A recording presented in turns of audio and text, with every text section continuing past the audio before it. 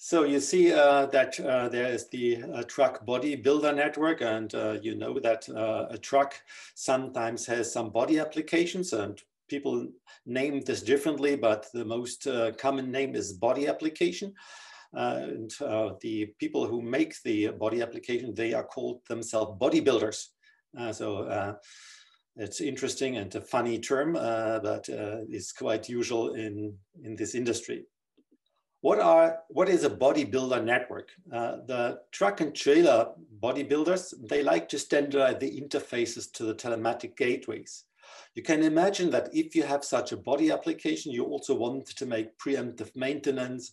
You want to know what is the this body application is doing, how often a door is open, how often the cooling has failed, and whatever you like to to observe with your uh, in the cloud, that you need a telematics gateway. Um, those companies making body applications are sometimes very small and sometimes uh, the market is very fragmented. This means uh, they are not able to provide their own, own cloud services. So they need standardized gateways uh, from their applications into the cloud. Truck and bodybuilders also like to standardize the interface to the in-vehicle gateways, to the in-vehicle networks, because they want uh, to to move their application from one uh, OEM to another OEM's truck.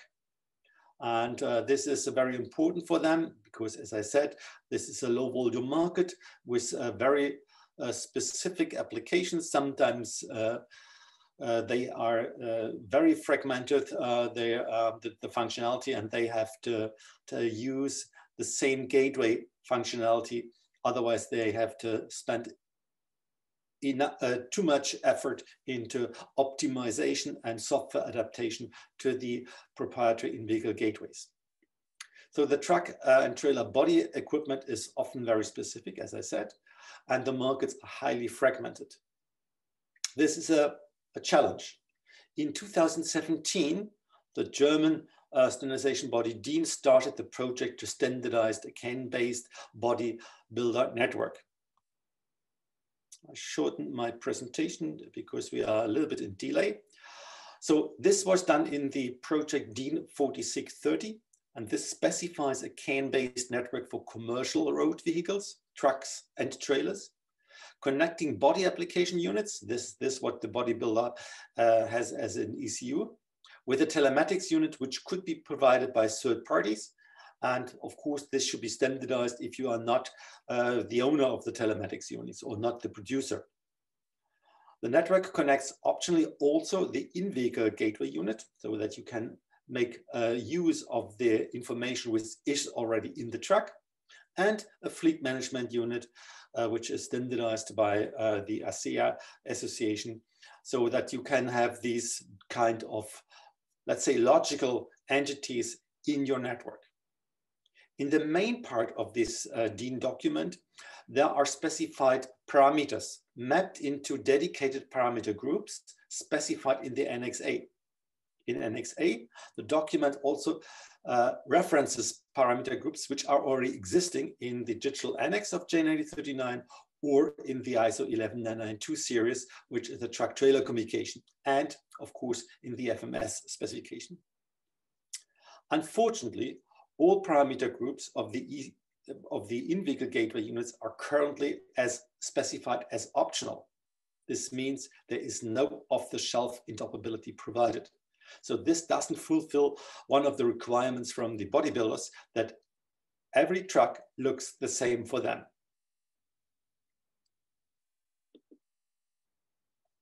The basic idea of these uh, DIN 4060, uh, for, for 4630 is that we have just specified virtual devices. So these are just software entities and how you map them into ECUs, this is depending on your application and depending on your, uh, your intention, what, what you want to do. Because as I said, there are highly different uh, body applications and maybe in one you can put all the things into one ECU and or you have to separate them. For example, here you see on the right side and the left side two different implementations. on the left side, you see the uh, truck, uh, the, the telematic gateway unit combined with the in-vehicle gateway unit and the fleet management unit. This is one ECU provided by the truck maker. And then you can have two uh, uh body applications, for example, or one uh, in ECU two and three. However, if you have your own uh, telematic network as a bodybuilder, then you will uh, have your own uh, telematics unit uh, in the ECU2. And the, the, truck manufacturer provides just the uh, in-vehicle gateway unit and the fleet management unit in ECU1. And if you have uh, just two applications running there, uh, from the bodybuilder and, and, you are the owner of both, then you can you uh, then you can implement both in one um, device in the ECU3, for example. This gives you an idea that this is a very flexible approach for the bodybuilders to implement whatever is appropriate for their application. It could be also a more complex system. Maybe we have the uh, DIN 4630 network, um, and then in addition, we have some, as you have seen from the implement, uh, you have a sub-layered network because you have a lot of ECUs in a complex body application. But complex body applications are, for example, refuse collecting uh, vehicles or uh, firefighting vehicles. They have up to five or six or even more uh, sub-layered networks. Uh, here you see an example for the refuse collecting unit. Then you have the body application unit, which hosts on the other side the uh, refuse collecting unit controller. Uh, and um, then this is implemented by the uh, bodybuilder. And uh, there's maybe also a second bodybuilder who has uh, submitted something as a subsystem, for example, for those applications in refuse collecting vehicles, it could be a crane. The crane comes normally from a, uh, from a third party and you have to integrate this. So this means you have to connect to the uh, telematics unit and the fleet management unit. You have uh, then to co uh, connect both body electronic units. And in this case, in, as an example, the in-vehicle unit gateway is uh, in the ECU 3. So anything is possible and it's just up to you how you implement it because we are just using software entities for that purpose and the communication is completely separated from the uh, real network. If you see also, this has more impacts. If you see here, for example, a truck and trailer where you have both, uh, on both sides, uh, a body application, then you can do this directly via the well-known ISO 11992 or dash 3 uh, connections between truck and trailer. And uh, you can also do it uh, differently by means um, that you have uh, this implemented together with the DIN 4630. So this means a very powerful ECU, then providing additionally to the ISO 11993 and the in-vehicle network also a gateway functionality to DIN 4630. So this is also anything is implementation specific, and we just provide uh, in this standard the software interfaces so that you can easily adapt this to your hardware requirements from your body application. So what we are currently have developed in the DIN 4630 document is we have specified uh, the behavior of lifting units and there we have two kind of uh, lifting units specified the vehicle mounted crane units if you, you may know them. And we have the tail lift units, uh, which is quite often used by in, in, in the trucks as well as in the trailers. The same is for heating and refrigerating units. We have a generic uh, uh, HRU and we have a cargo space container, single multi-temperature HRUs, uh, which are much more complex. Both are specified in the standard. We have also a reference to the uh, refuse collecting uh, vehicles if they are compliant to uh, a European standard or if they are not compliant to European standard. So you also can use the uh, DIN 4630 network for those applications. Then we have also um, uh, a virtual device specified for containers. This could be removable or non-removable tanks for liquids. It could be also tiltable or removable silo or bulk for, for bulk materials. And last but not least, we have uh, a tipper unit uh, specified, different styles of dump units, a roll uh, of container units, and so on. You see, that is just the beginning. There are much more body applications, but they are not present in the moment.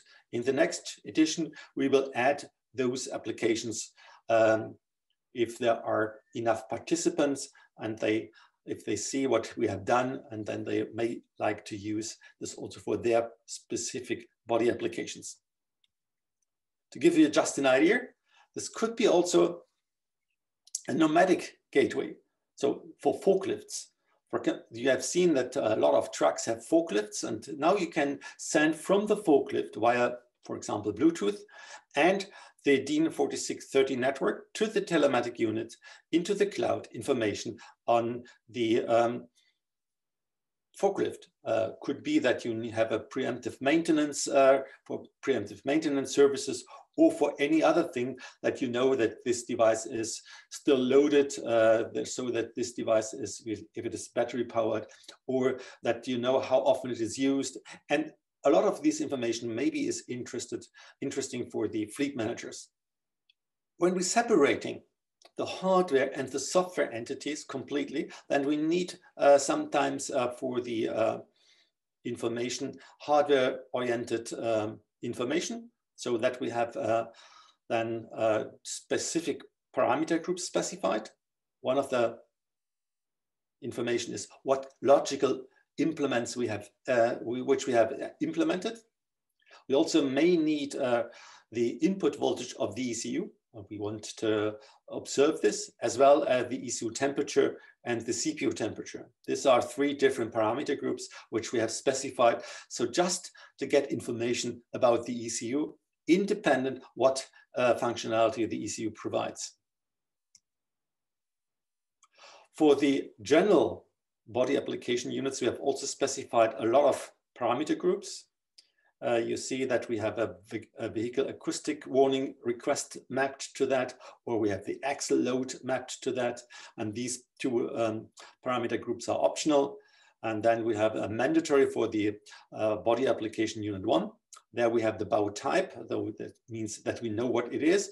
And if this has a sublayered network, then we have also uh, the subtype or the subpart and we have the remaining operating hours, operation hours. So this is uh, one of the things which we have. Uh, for the uh, second uh, body application unit specific parameter group, there we have the hydraulic oil temperature, oil pressure, etc. And not to go in, in too much detail um, and not to bore you, uh, we have uh, specified a lot of other things and mapped directly statically into the body application units three to eight. We also support uh, the general purpose message 23 and 24, which is specified in ISO 11992-3. And we have uh, for, for lighting applications, we have the um, LCMD parameter group uh, optionally specified and uh, you've and reference to the SAE J39 digital annex. We also need some information on the commercial vehicle status um, and we have also maybe a request uh, to the windshield uh, wiper request.